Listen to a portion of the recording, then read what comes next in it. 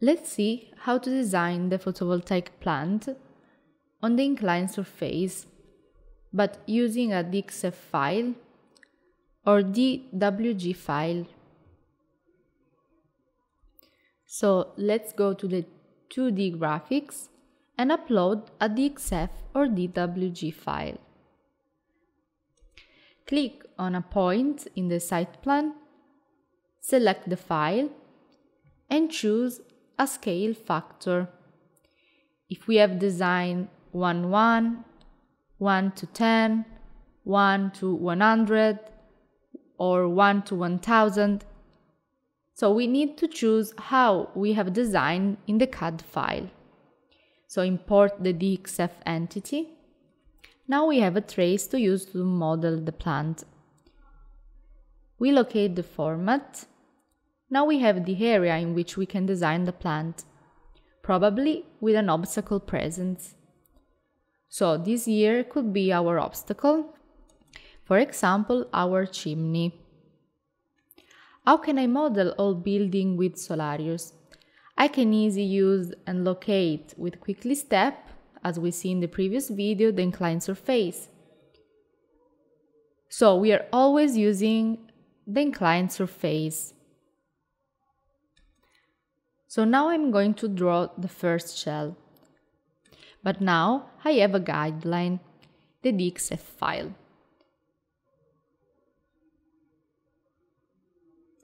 Apply. We enter in the editor.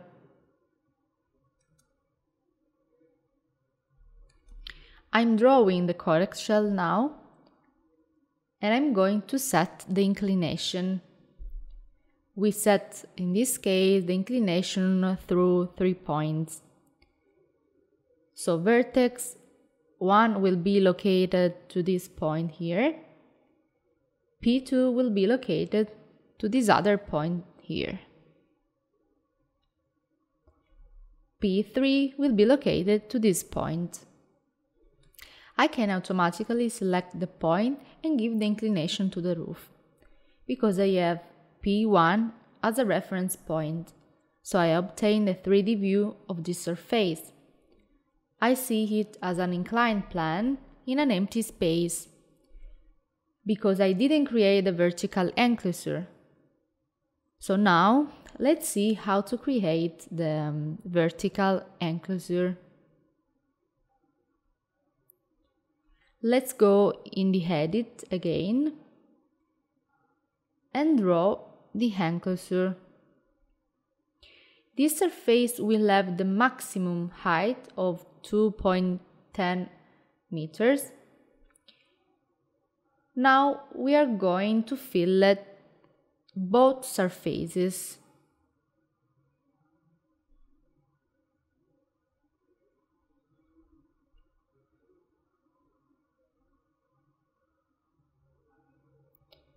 Now we go in the 3D view. We want to draw the chimney. Let's go in the site plan because here we have the obstacle tracing to represent this object, I'm going to use the generic volume. So let's draw it.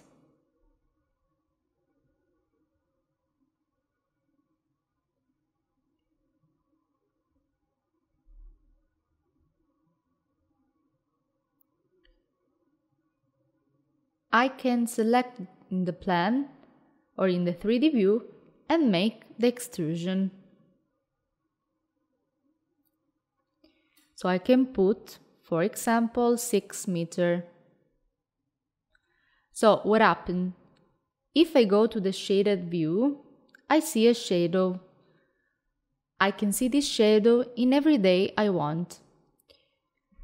Or I can generally see the sunset or the sunrise time. So I can verify how this object produces shadows on inclined surface.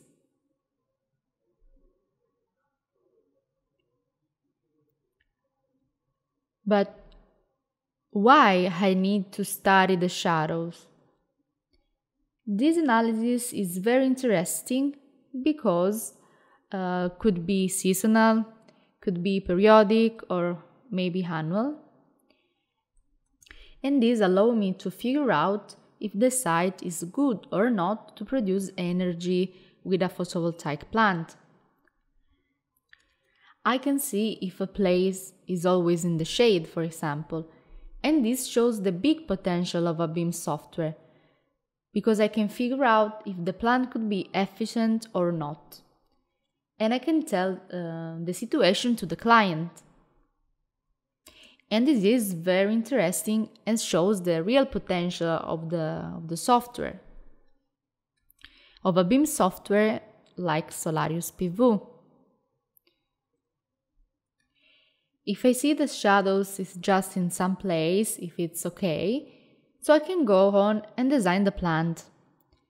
The design of the plant goes on just if I click on generate the photovoltaic field. It automatically recognizes surface, inclination and orientation. And it recognizes the correct position of all modules and their inclination. So I'm now designing with maximum power criteria. So I'm going to cover the maximum area possible. I'm going to apply a filter. I want to see all modules above 300 watt, so equal 300 watt, polycrystalline. We obtain 18 modules and the automatic position of the modules in the 3D view. So here we see a detail. We have a polycrystalline type. On a plant surface, we can see also the module structure. I can always select the module and go to the mask on the right. I can assign all specification I want. And I can also change the specific uh, model. I can activate a view and see a technical report of the module. I can interact with the internet and the database. Or I can deactivate the transversal roads. So if I design the plant, then I have possibility to customize all view plan.